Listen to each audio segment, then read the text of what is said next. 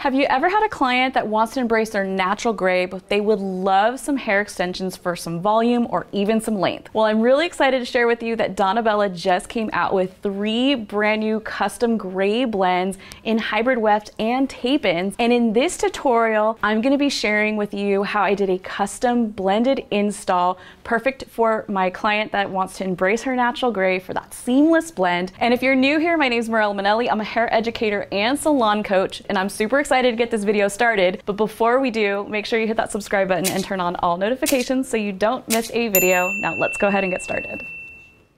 This is my gorgeous client, and she is ready to embrace her gray.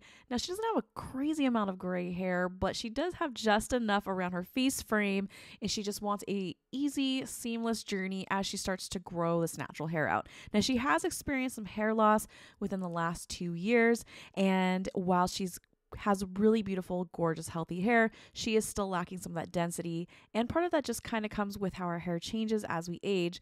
So I thought adding in just one row of hybrid weft hair extensions would do just the trick. So first we're going to color match her. Now because she doesn't have a bunch of gray, I do need to add in a base shade. So we decided to go in with a brunette color. And then for the gray shade, I tried to match it as close as possible to her front gray areas. Now, because we're only adding in one row and we want to add in fullness, I wanted to also match the length of her hair as close as possible. So an 18 inch weft was the go-to length. And then for the two colors that we decided to go with was color two, which was going to match her base color as close as possible. And then the brand new hybrid weft color 50 medium natural gray and that matched her gray hairs in the front perfectly.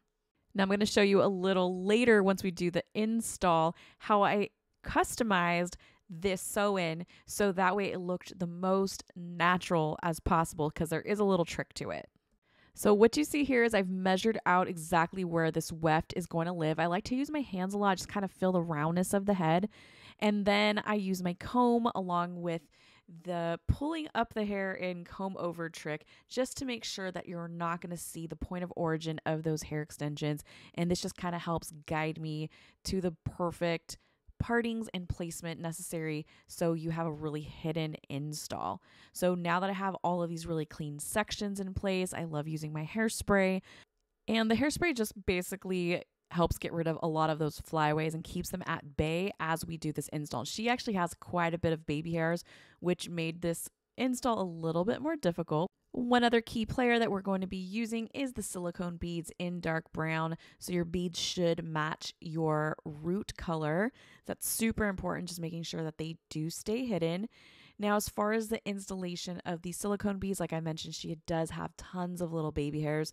So taking really clean partings as I work and inserting my beads right at the base is going to be key in making sure that we're not going to have any crosshairs whatsoever. I also like taking wide sections here so that way I can make this bead installation really quick.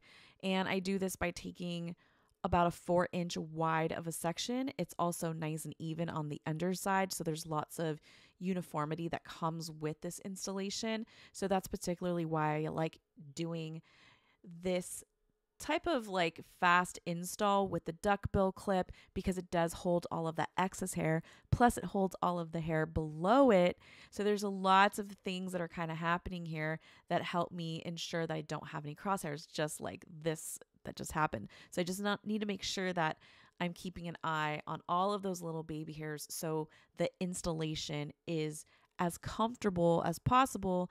And then also, you don't want to have any type of scalp irritation itch issues that can come with crosshairs getting into beads that they just don't belong in.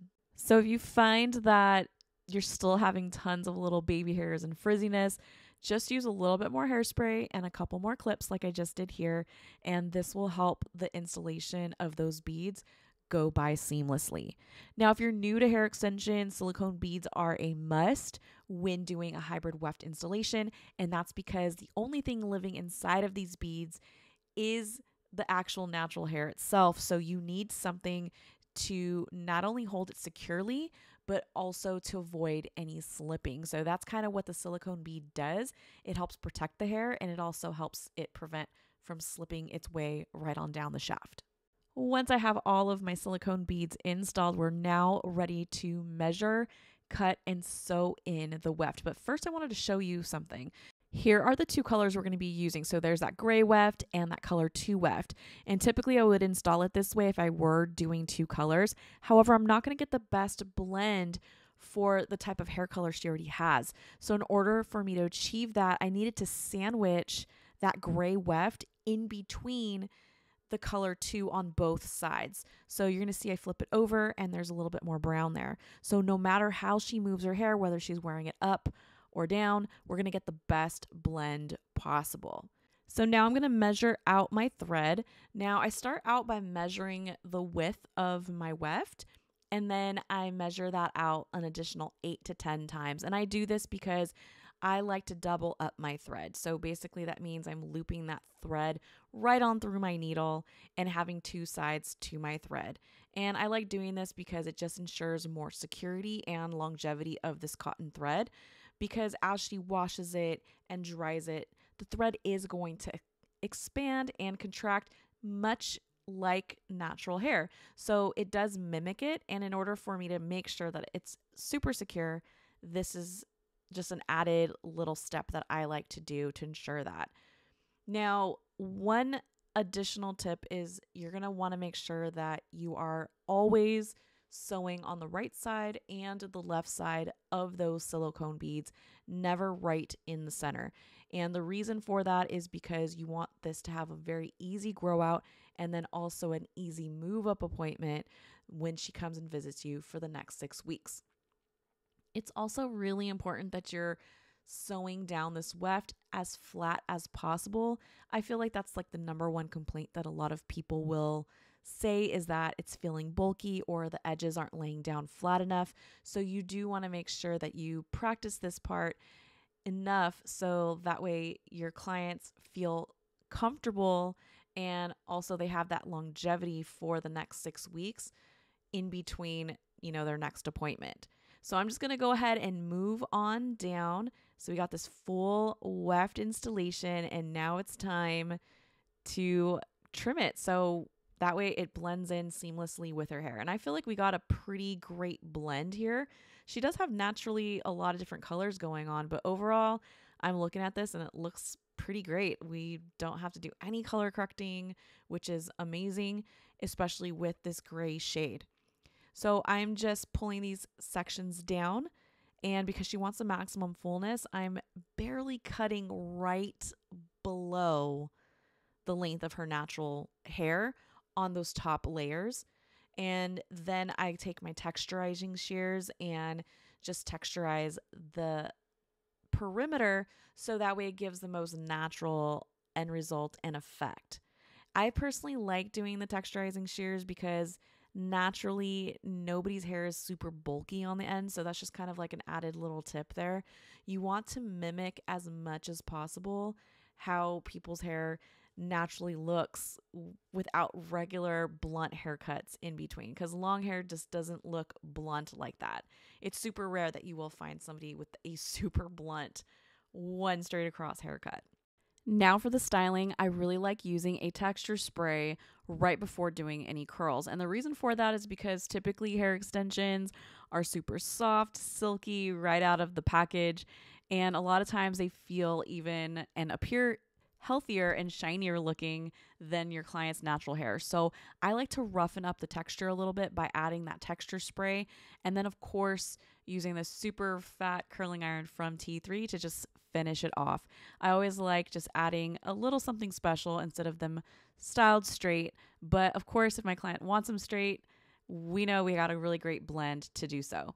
Now, here is the final result. Here is her side by side. Look at how much fuller her hair looks. But I really am loving that little pop of gray hair that she's got going on because that's what her hair naturally looks like. She's starting to get that gray hair on her face frame. So it definitely compliments her. She completely just loves it. She's rocking it. It's super cute on her. And here's a little under the hood shot. You can see that gorgeous blend. And in this natural indirect light, you can even see those gray hairs right on the underside. So as she gets grayer, we'll be able to choose from two other shades to have a true customized look. And this is exactly why I love hair extensions so much because they can be very transformative in the most major or subtle way possible. Now, as far as cost is concerned, I can't speak for everybody, but what you can expect to pay at my salon is $200 for a one row installation plus the cost of hair. I really hope you love this look as much as I do. Put it in her mouth. That's okay, we'll leave it. So I really hope you enjoyed this video and if you did, please give this video a thumbs up, make sure to subscribe and comment down below which gray shade you want to try and maybe which one I should try next. To learn more about Donnabella Hair, make sure you head on over to their website at donnabellahair.com and don't forget to use my special coupon code Mirella to save 10% on your next purchase. Don't forget to give me a follow on my other social channels like Instagram, Facebook, and TikTok, all under Mirella Manelli. And if you want free education sent right to your inbox, be sure to head on over to mirellamanelli.com and sign up for my newsletter. To learn more about my upcoming education, courses, and all the ways you can work with me, be sure to check out the links down below. And I will see you in the next video.